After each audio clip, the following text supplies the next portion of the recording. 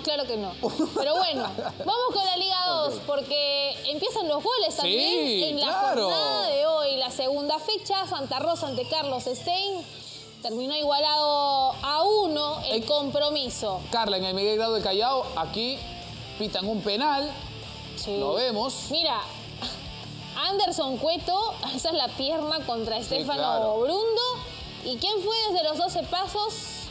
Maximiliano Freitas, 44 minutos. El uruguayo de 30 años ya tiene tres goles. ¿Ah? Parece rugby, ¿no? Pero bueno, ahí estaba Freitas marcando el primer tanto y luego penal, el empate para Santa Rosa. La falta de Brundo, esta vez Aurelio González Vigil, ¿no? Sí. Y va Nicolini. El Nacho Nicolini. Para poner el 1 a 1. finales del partido, minuto 92 del encuentro para marcar el empate. Dos goles desde los 12 pasos. Así es, ahí estaba. Entonces, la Liga 2.